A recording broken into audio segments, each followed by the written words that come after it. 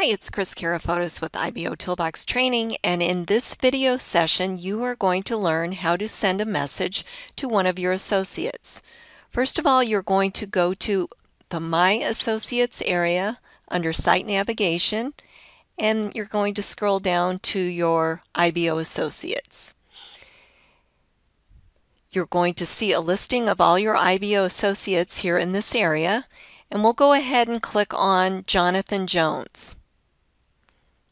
When we click on his name, it brings up his member viewer.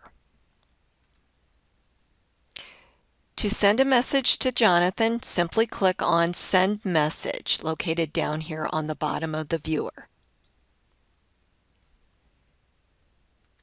You're going to enter in your message here in the box.